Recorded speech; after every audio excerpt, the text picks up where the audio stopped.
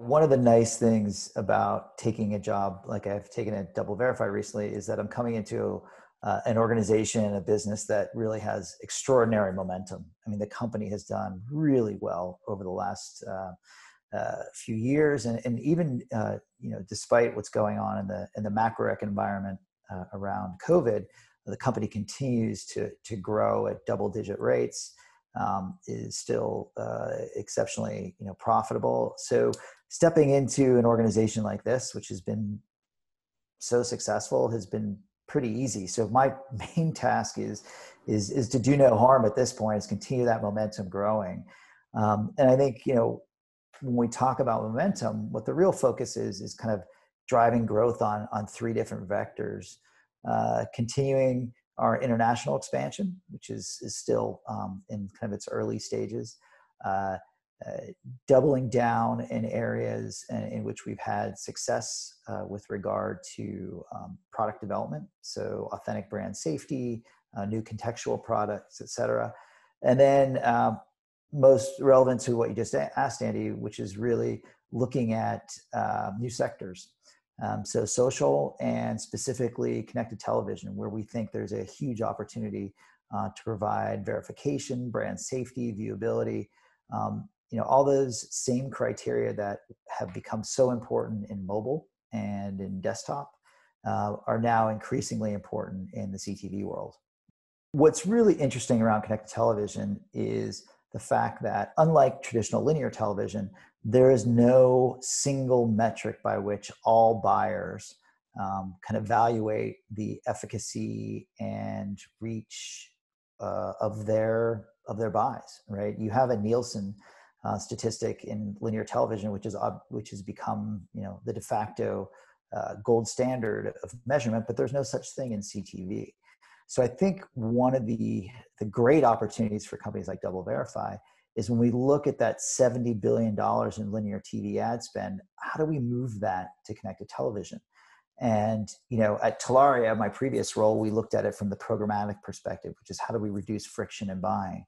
Um, but really, at DV, the bigger question is how do we build confidence? Confidence that um, because there's no single metric out there that the linear uh, that the dollars moving from linear that go into ctv are being well spent um, are avoiding fraud are being delivered in a brand safe way um, are viewable which is which is a really interesting thing that there are there are still viewability issues when it comes to connected television, something that you really don't have in linear TV.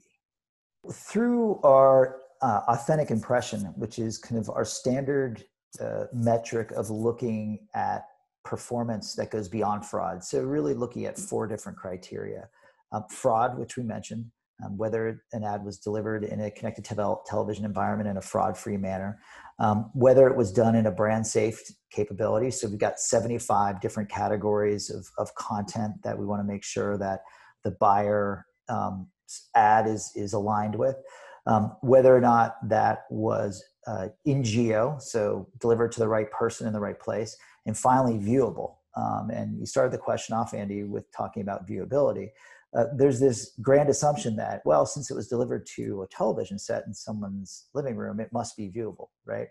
Well um, you know the cha- the reality of it is in, in, many cases it's not either because the fact that um, there are now new digital formats which may not take up the full screen. So is it big enough on the screen for someone to actually view it if it's not a full screen um, ctv ad? As well as the fact that um, if the full ad isn't viewed um, is it truly viewable i.e did it run for a certain number of seconds? Did it hit the you know the first quartile? And we found a large percentage of ads um, don't get delivered um, through that first quartile of viewing. Uh, so it's not truly viewable. As a matter of fact um, you know that we see only about 88% of ads that are delivered to ctv meet our viewability criteria. So um, viewability is not guaranteed and you know surprisingly enough fraud is still in becoming an emerging issue when it comes to connected television as well.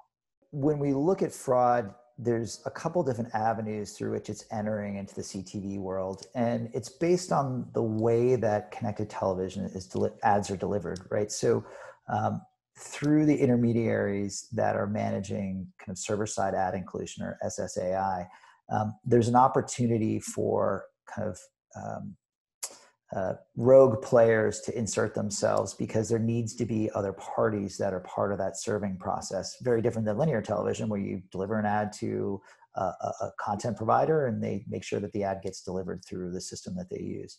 Here, there's third parties touching it, which always allows for um, someone to insert themselves into that third party equation. Um, and do so in a way that's not aligned um, with the uh, you know with the buyer's wishes. Um, there's also the growth of programmatic in connected television. And when programmatic, which obviously I'm a huge fan of, I've, I've spent the last you know 15 years of my you know ad tech career you know promoting programmatic. It's great for f- reducing friction, but it also creates a lack of transparency on what's being delivered from the content producer to the buyer. Um, those, you know, because of those two areas, the mechanics of how ads are delivered or allow people to insert themselves in, as well as the, you know, the growth of programmatic as a buying channel, which creates a lack of transparency.